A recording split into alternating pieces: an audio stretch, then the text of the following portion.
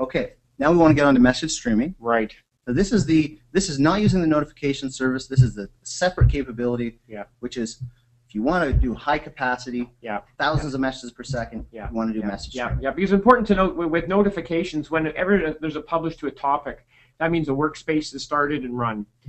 And, so, you know, we can do hundreds of those a second. But in some cases, we're, we're dealing with like 30,000 messages a second. So how are we going to do that? For that, we have this whole idea of message streaming. And we've and that's direct communication to the engine. Yeah. And we have added TCP/IP transformers to facilitate that Yeah. movement of data that way. JMS is Yeah. in SP1 already, It is actually. in SP1 now. So yeah. if you need to push JMS messages at high speed, Yeah. you can do it and again, they're both they're bidirectional, in and out. in and out. Yeah. And we actually are using Python to serve to WebSockets. That's right. I'm going to show that example right now, Okay. just very quickly, because I have another example coming up. Hmm, I'm not sure what happened there.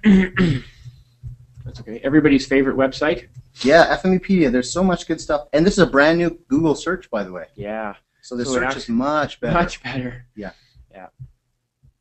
And here comes a map. And what's happening is we're having these different events happen, uh, come into a, a, a workspace that's on, it's running all the time. Yeah. And when it receives an event, it pushes it out over WebSockets to this map. Right. So you can see in this case we have buses, we have bo- boats, and we have airplane locations. And, the- and this is real time. So if I was in San Francisco Bay Area, I would actually could verify that there was a boat there and the bus was there and all that good stuff. Abs- absolutely. There are all these three data sources coming in in the same format or They're actually a little bit different. Um, Ah. this one's coming in as XML. Both of these are XML. Oh, I'm glad um, you said XML. Yeah, I know you you, seem to have an affinity for that. I XML. love I've noticed. Yeah.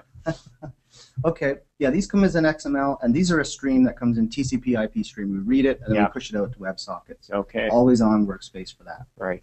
Now I want to show just uh, show how that's actually possible, and it shouldn't be too hard to show that. Okay. Deep dive. Okay. We're gonna look at the workspace here, are we? We are not not that one. Yep. But we're going to look at one very similar. Okay.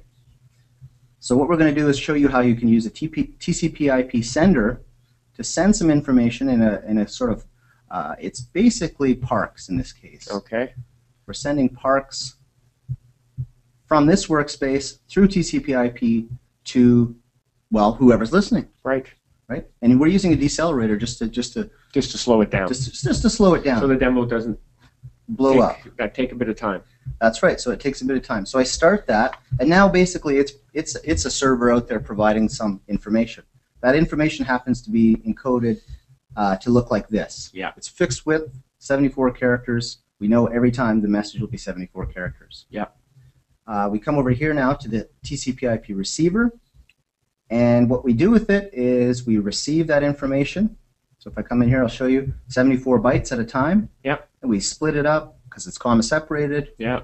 and we strip out the uh, the, the pieces, name it Mhm. X Y, create a point, and we log it out in this case. Perfect. You see that little blue thing there? Yeah. This is where inspection is very cool Yeah. because I can see the points as they come in. Yeah.